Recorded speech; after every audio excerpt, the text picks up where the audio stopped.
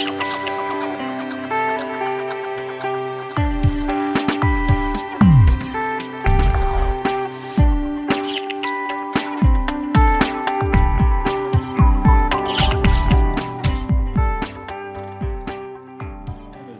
Tim I'm the managing director of KDAB in the UK. With me is Peter Winston, president and CEO of ICS.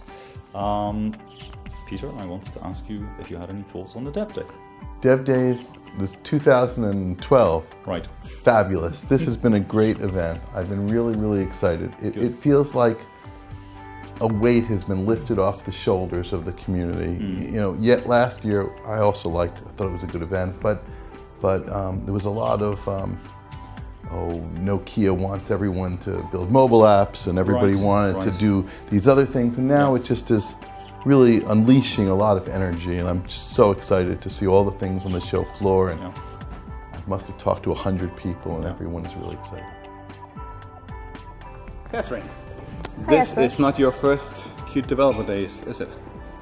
No, um, you know, I've been in, been with Qt since uh, 2008, so I think it, actually now I'm thinking about it, it's my fourth Developer Days. Okay. Um, so it's been definitely excited and was really happy that we were having a Qt Developer Days this year.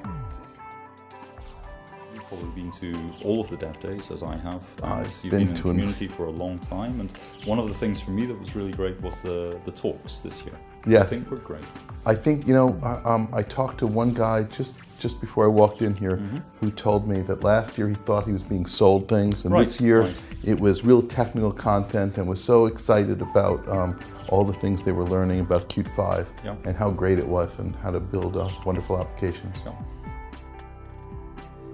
How did we do? I really must give a you know, two thumbs up to the entire KDAB team for putting on a really successful event and putting it on with such short notice and just at a with little resources that I know how much time it takes to put on this type of event. And I think that you know Digia and the community in general is really happy with the outcome and it's been uh, successful. And I've only heard great things. And from our side we are very pleased of how things have turned out this year.